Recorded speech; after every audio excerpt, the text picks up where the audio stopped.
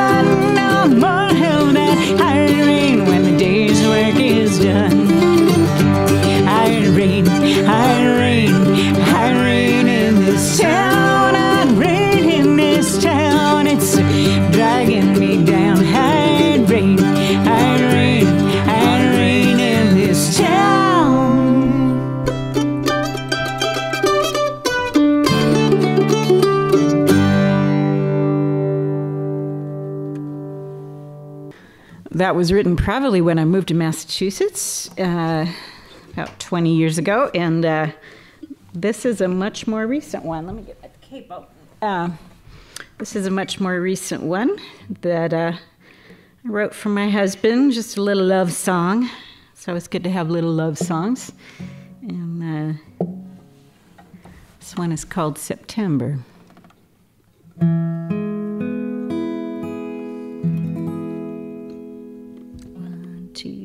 Three.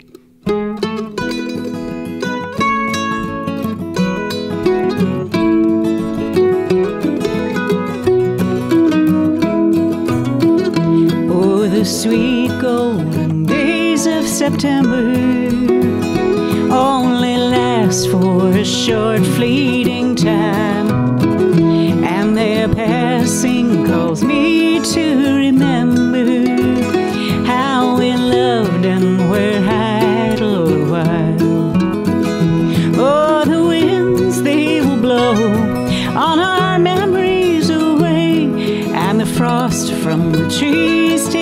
splendor. But today we lie fresh in the grass, sweetly dressed in the soft golden light of September.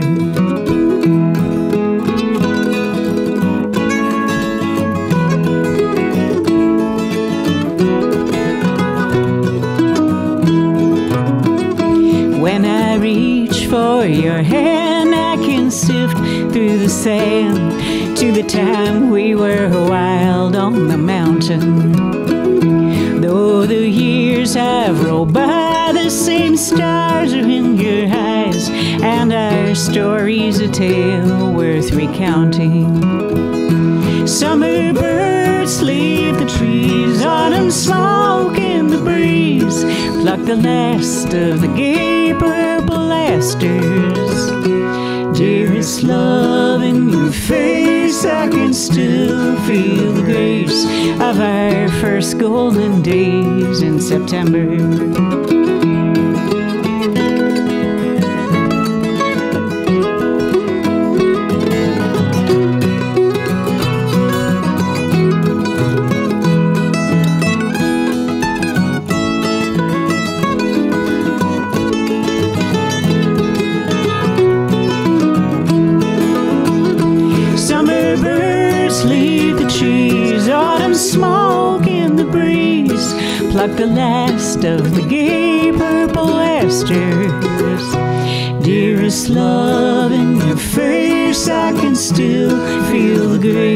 Of our first golden days in September.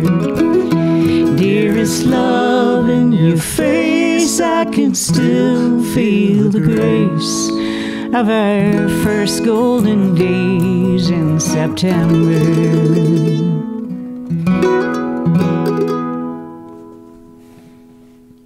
All right, good. Well, I'll do a little intro to this song. So, um, so this is a tune I wrote um, for my grandparents uh, who lived on Muddy Creek Road in Cincinnati, Ohio. And uh, so the title of this tune, of course, is Muddy Creek Road.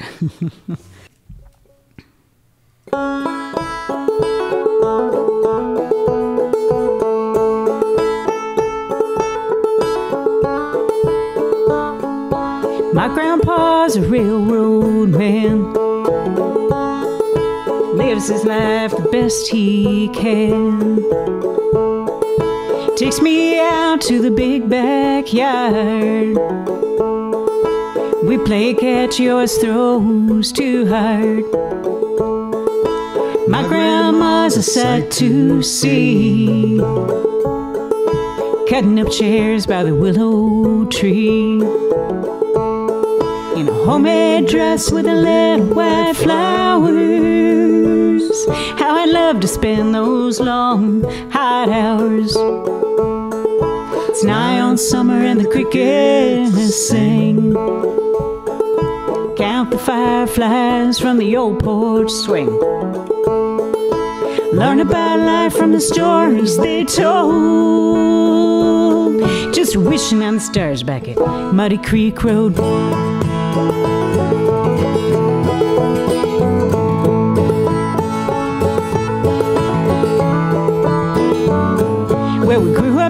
Fast and we move far away. We always come back for summer stay. Think of those times when it seemed enough to have your family close and your kitchen full of love. It's nigh on summer and the crickets sing. Count the fireflies from the old porch swing. Learn about life from the stories they told. Just wishing on the stars back at Muddy Creek Road.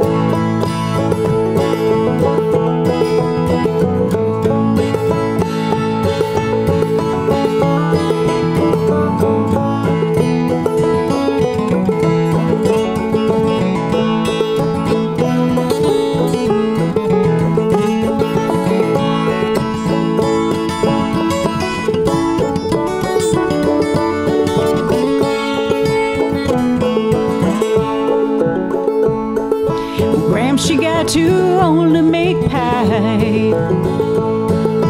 Gramps just seemed like he was always tired. Go visit on Sunday at the old folks' home. I'd leave there feeling sad and low. Well, I went to the chapel and what did I see? Coming for to carry them home to me horse and buggy with ribbons and flowers. Voices singing with the gospel power. Sang, swing low, sweet chariot, coming for to carry me home. Swing low, sweet chariot, coming for to carry me home. They sang, swing low, sweet chariot, coming for to carry me home. Swing low, sweet chariot, coming for to carry me home. It's nigh on summer and the crickets still sing. I think of those times from my own porch swing. Still learn about life and learn about love. Still wishing on the beautiful stars up above. Still learn about life and learn about love. Still wishing on the beautiful stars up above. Still learn about life as I shoulder my load.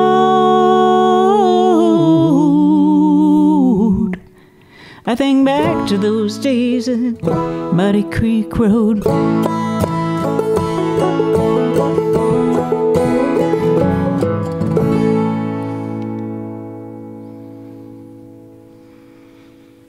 Well, so um, this next song um, is a song that I wrote uh, some time ago, but it didn't really see the light of day until uh, um, I did a record a few years ago that is just finally out, and um, liked it so much the way it came out that we put it on first. And uh, this is called Slenderest Thread. As Larry likes to say, it's the closest thing we do to rock and roll. Yeah. One, two, three, four.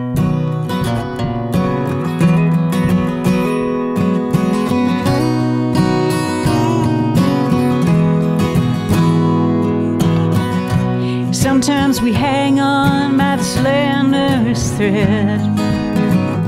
Stay up all night and in the morning lay in bed. Do what you want, but you can't change blue to red. Sometimes we hang on by the slenderest thread.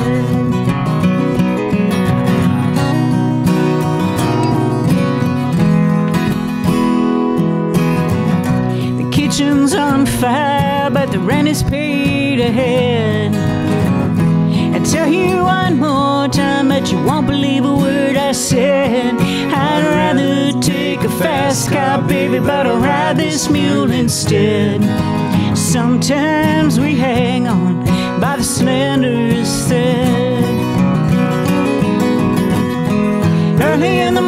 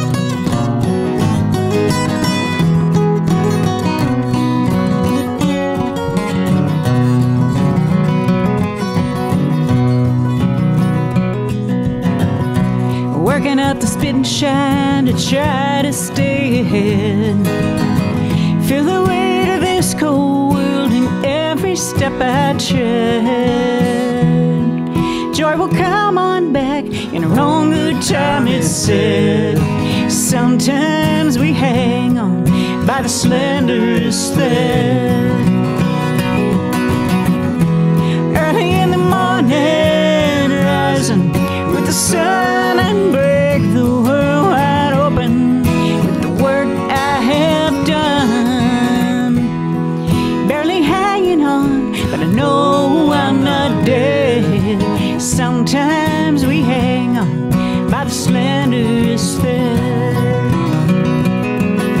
Sometimes we hang on by the slenderest thread.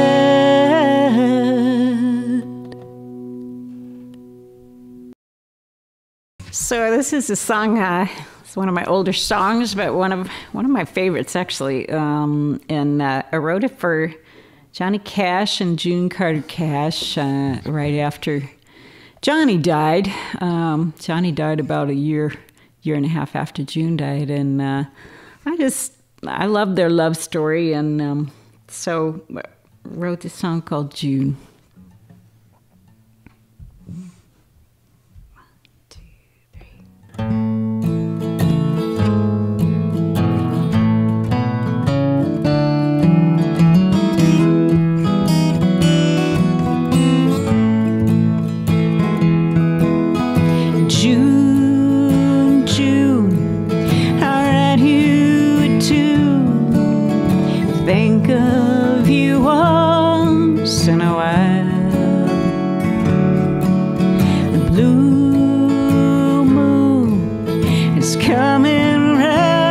soon. See you back then, and I'll smile. Did he fall?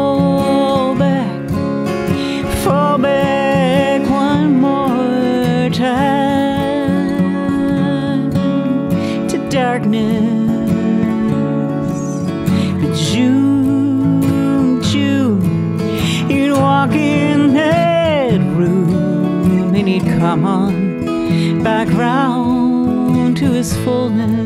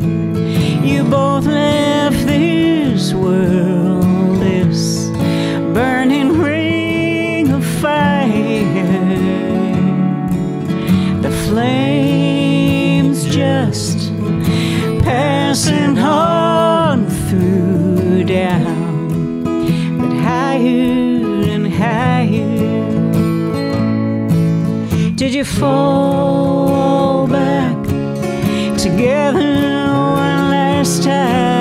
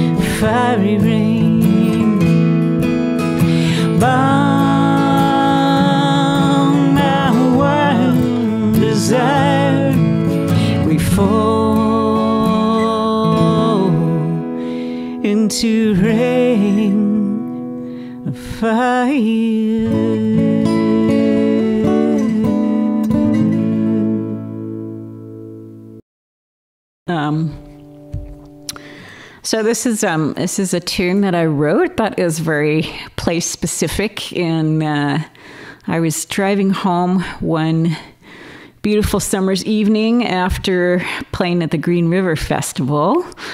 Uh, which is a lovely festival that we have around here. And um, I was on Zerah Fiske Road, which is, I like to call that area the West County line. Uh, for some reason, it seems like it's the, the line that divides um, Franklin County and the sort of western part of it from there on. And there's just a beautiful view that I love there. And uh, so came home and, and wrote this song called The West County Line.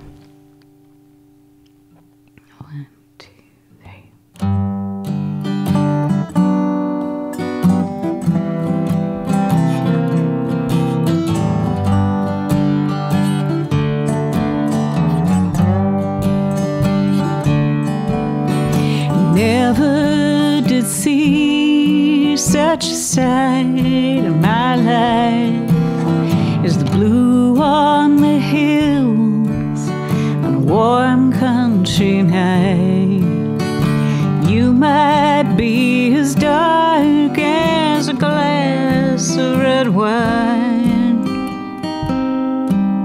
but your soul will get right out on the West County line.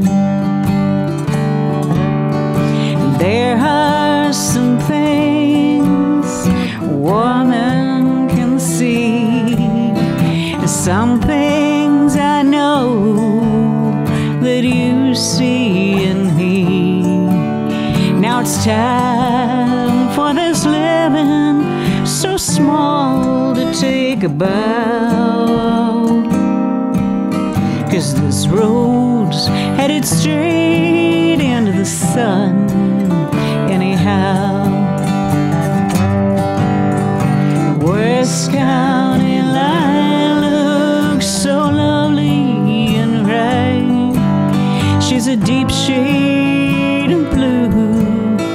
the shadows tonight. Might go drink whiskey, call up a song. Might do some right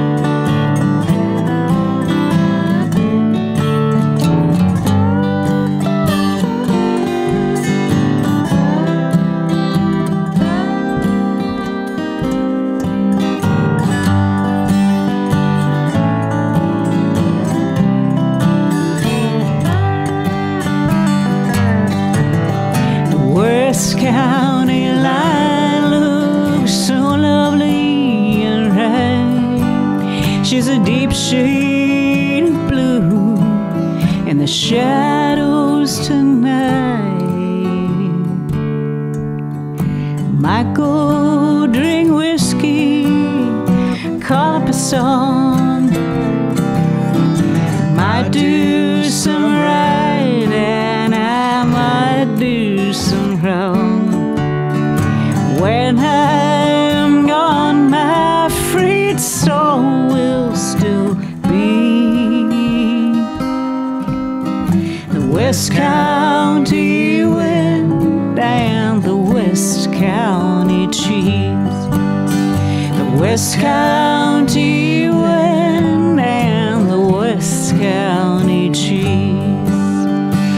West County wind.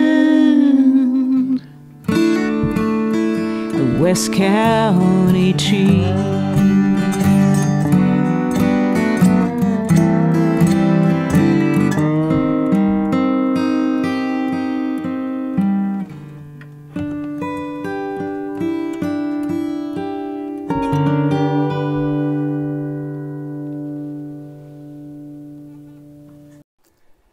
Katie, that was a great set. I really enjoyed the music. Thank you so much. Well, thank you. It was a lot of fun. Yeah, and thanks to Larry. It was a terrific uh, instrument and, and, harmonies as well. Yeah, very yeah. Enjoyable. Very, very lucky to play with Larry. Yeah. yeah. Nothing like it. Have yeah. good backup. Yes, indeed. Yeah. So, um, so these were wonderful songs. When did you start writing songs? Well, it, you know, I was thinking about this, and I guess I started, I started writing songs, although they, they weren't really songs. They were more like poems, but they, there was music involved in my head, probably in late high school or college. But they, I, I wasn't really playing an instrument. Um, so I didn't, you know, really have any, any, anywhere to go with them. And then I started playing guitar, and by my around 30, um, I would say I um, started writing songs, and um, you know, most of them weren't really any good, but um, they got better, and um, I really just enjoyed the process. And then uh, I moved from California to Massachusetts, and I just had this big songwriting spurt. Um, where a lot of songs came, and a bunch of them I really liked and kept, and um, started playing with other folks um, and performing, and so that's kind of, it just happened organically, I guess. Like it's in the air, huh? Sometimes well, it feels it, that way. Yes, yeah, yeah, and and I know that there's a lot of amazing songwriters who have a lot of protocols and a lot of that. I'm just not one of those people. Um, it, it, it seems like it's something that has a more organic process for me. That that. Uh, you know, um, that does feel a little bit like the old Whitman thing about dictation, you know.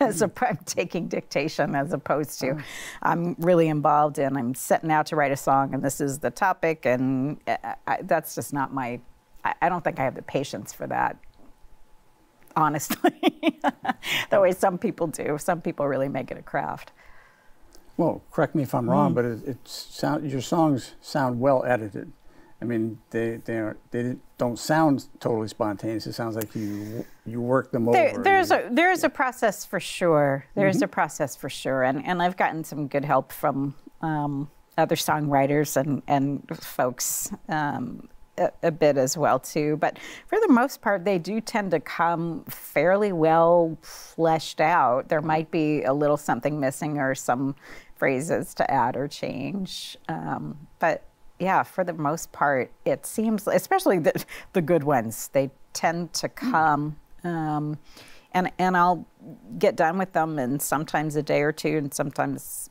maybe a week or two. But I, I don't I don't labor over songs. I guess hmm. I would say. Interesting.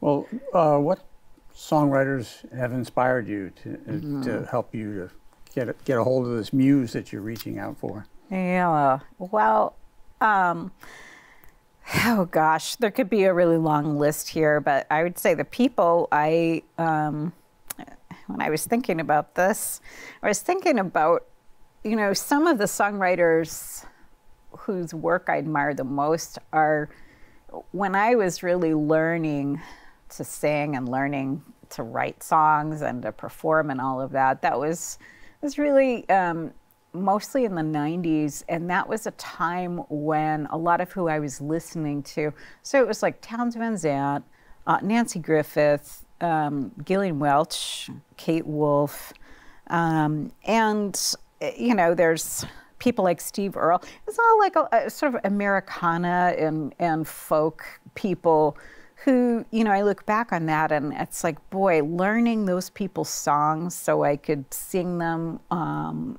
you know, at parties or just sing them with other people. I had a wonderful um, singing partner where we, we did some performing, but we just did a lot of working up material. And also the Indigo Girls. Um, I had another friend who we just we just loved to play Indigo Girls songs, and so we worked up all these parts, and mm. you know we learned the songs. And I think that osmosis kind of happens when you really kind of um, are deep into good songwriting you know, some you learn some things without thinking too much about it. Hopefully, mm-hmm. I, at least I, I feel like that's what happened for me.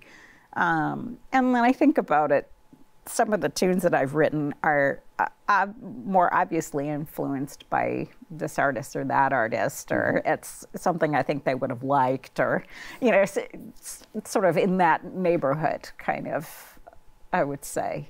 Um, so I, I, think those are those are some of the people whose whose work, and, and, then there's also you know amazing women country singers like, um, and songwriters like Dolly Parton and Loretta Lynn, and um, I, I, just love that old old country music, and uh, um, so some of that has been influential, I think, too. Yeah. Well, there's definitely a lot of roots in your music. Uh, that, that really comes through. So I can I see what you're saying. yeah, yeah, So um, are there some topics that you write about that uh, that inspire you more than others, or are there some topics you like to go back to? Well, it appears that a great deal of my songs somehow get tied into uh, the seasons and the passing of time and sort of those those kinds of themes. There's a lot. Um, as a matter of fact, the CD that I just put out is called "Season of My Time," which is the title of a song that actually didn't make it on that record. But I love that song, and I love that. Uh, I, I love that. Just that name seemed right for the vibe of the CD, and, and a lot of the songs I do have themes that have to do with seasons. Uh, Larry was just kind of joking a little while ago and saying, we've got a song called September, a song called June. You know, I should mm-hmm. write a song for all the other months. But um, all joking aside, I, I think there is something to, for me, um, a lot of my songs have been written outdoors. Um, in my head while walking or hiking or just sometimes out um, on my in my screen house um, in the yard. Uh, sometimes driving, um, but I think there's something about being uh, out of doors or in the open that that allows me to write. And then so often those kinds of themes. There's a lot about being healed by nature um, that that seems to come out in in in my songs also. Um, yeah, so so I'd say there's there's that, and and uh, you know the good old themes of love and loss. I'm, i have a lot of Irish in me, and so you know love and loss. You can't you can't get too far from those things. yeah, they're ready made. So you mm. take a walk, you write a song, you write, get home, pick up your guitar, and write it all down. Uh, sometimes it's more like um, I run to the car. and I write on the back of a map or anything else that I ah. napkin or anything, and I hope to God that there's a pen somewhere. I, I got to the point where I always made sure that I kept pen in the car because uh, things go so fast if you don't get them. At least for me, and I, I you know, this was like the days before I always had a cell phone in my pocket, and nowadays I you know, when I'm out in the woods, um, I might not always have a cell phone with me, and so um, you know, for me, it's it's having um, having those things come and hearing the music at the same time, and then just sometimes you got to just run like heck to wherever you can write it down. I've had it happen also where something came up when I was driving, and I just pulled over and wrote the most of the song, if not the whole thing, came at that point too. So. Yeah. That's a very interesting process. Uh, would it be fair to say that you write songs because they come to you and you, you feel you have to capture them? Is that? Um, that's a that's an interesting way of putting it, and I would say that feels true. Mm-hmm. I would say that feels true because again, I'm not like a pursuer of songs, and maybe I should be. If this were how I made my money in my career, I probably would darn well have to be. And so I can afford to be kind of a lazy songwriter because it's not how I make a living. Mm-hmm. and um, if I really, um, you know, with somebody who uh, was in that realm of where I had to make my living by my art, I'm sure it'd be a whole nother story, you mm-hmm. know. Um, but the way it goes for me is more about that sort of feeling of taking dictation of whatever's coming through. Um, yeah. So it's out there. You got to capture it and Yeah, put it down yeah, on paper and, Yeah. and in the airwaves. yeah. yeah. When you think about other songwriters, particularly songwriters starting out, uh, Yeah. what suggestions or advice do you have for them? Oh gosh. Um, well, um, I would say particularly if if you're a female, um, write and keep writing and don't give up. And um, it, being a female songwriter, even though you know there's a lot more spotlight on female songwriters, um, and in the folk world, there's more of that. Um, I think uh, it's still a, a harder thing. I think um, nobody ever told me, "Hey, you could be a songwriter," and nobody ever really told me, "Hey, you know, you could front a band." I figured those things out myself, and I did that. So I would say, especially, you know, to young women, just do it. You can do it, and um, there's no reason why you can't. And um, if it's something that you feel and you love, um, make it happen and make the time and um, learn whatever instrument is going to help you write and um, uh, surround yourself with people who believe in you and are going to be really good mentors to you. I've had some really wonderful. Um, I, I was on a group for six or seven years with two other women who are dear friends, and we had a wonderful, wonderful time. They're still playing together as the Boxcar Lilies, and I was part of that trio. And um, they, you know, I, I think in a lot of different ways, I learned a lot from them. So surround yourself with other people who are writers, who play instruments, and who do this seriously. That would be my advice to anybody, really. Mm-hmm. Have you ever been a member of a songwriting group or? Yeah, well, I, I'm in this this little songwriting salon that continues to this day with those two folks and a um, couple of other wonderful, wonderful songwriters that we know, and we meet once a month. People bring material. You don't always have to have material, but uh, I also hosted a songwriters sort of salon uh, at my house for some years as well. So I figured it was easier if people were coming to me, and invited other songwriters whose work I really liked, and uh, it's it's wonderful to do that. It's wonderful to do that. Have you collaborated with with other songwriters to put together a song? Uh, yes, and not as much as I would like to. I, I, that's still something I would love to do. But um, when uh, I was in the Boxcar Lilies, we did some of that. Uh, most notably, one song that we were going to record, we went into the recording studio, and we were literally at the last minute changing lines and working on things together. And it was it was really cool because it was actually Jenny's um, Jenny Goodspeed's brother who wrote this beautiful song that we decided to do, and. Um, we just felt like it needed some tweaks and, and some different things. So Jenny and I were working on it kind of right up to before recording it. Um, so that was that was really fun. But we we did a lot of um, uh, we did some really enjoyable uh, work together in in that way, and that's something I would love to do more of. That sounds exciting. Absolutely. Yeah. Um, anything else you want to share with the, the audience uh, about songwriting or your music? Gosh. Um, well, uh, you know, I, I would say, you know, one one hope that I would have about, um, you know, people sometimes say, well, you know, what do you hope to accomplish? And like I love making CDs. I really enjoyed the recording process. I made two CDs with a, a trio and then a group that I fronted, um, and then three with the Boxcar Lilies, and the one recently of my own solo CD with a bunch of other musicians on, including Larry. Um, but uh, you know, like to me, just the the process of going through recording is so creative and fun. And that's something that I hope anybody who has some time, resources, tools, wants to learn about and do should do because it's just it's an extraordinary fun creative process and it's um, it's a it's a wonderful journey to do recording. So that's something I would say I've been incredibly fortunate to do.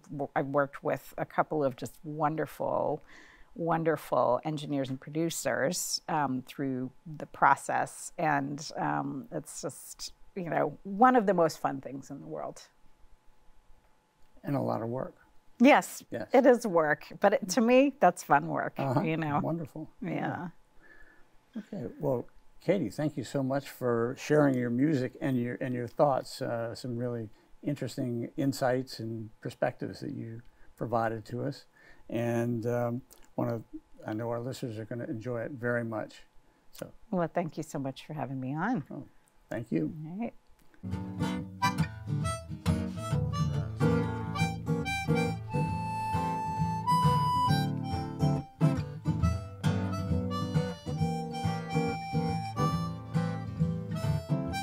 Thanks for watching our show. I would like to acknowledge the support of the Western Mass Songwriters Collaborative, promoting the original music scene in Western Massachusetts. If you want to learn more about the WMSC, go to their Facebook page. Thanks for watching. I'm Dr. Dan. I hope you'll tune in again for the show that puts a spotlight on songwriters.